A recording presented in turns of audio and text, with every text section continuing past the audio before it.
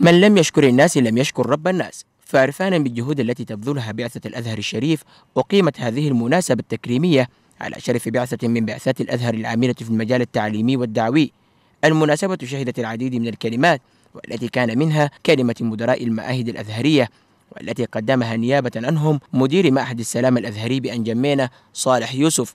والذي أثنى على المجهودات داعيا من البعثات الأخرى الاقتداء بما قدمته البعثة المغادرة ليأتي الدور للمحتفى بهم والذي قدم الكلمة نيابة عنهم رئيس البعثة والذي أكد خلال كلمته على أهمية تجسيد العلاقات القائمة بين البلدين مشيدا بالأخلاق والقيم التي يتمتع بها التشاديون.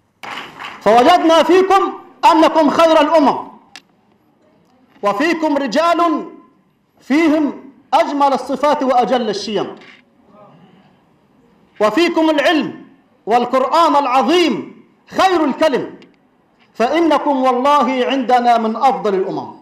أما رئيس المجلس العالي للشؤون الإسلامية بجمهورية تشاد فضيلة الشيخ محمد خاطر إيسى هو الآخر جدد الثناء على ما قدمه الأزهر علماؤه من خدمات نيرة في مجال دعم التعليم بالبلاد.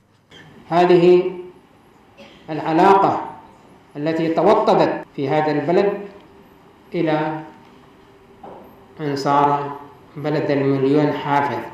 داعيا شيخ الأزهر على زيادة ومضاعفة عدد البعثات الأزهرية بالإضافة إلى زيادة المنح الممنوحة للتشاديين وليكرم بعد المحتفى بهم ولتختتم المناسبة بآي من الذكر الحكيم تليت من قبل أحد أعضاء بعثة الأزهر الشريف الشيخ محمد الأمين محمد الوكيل.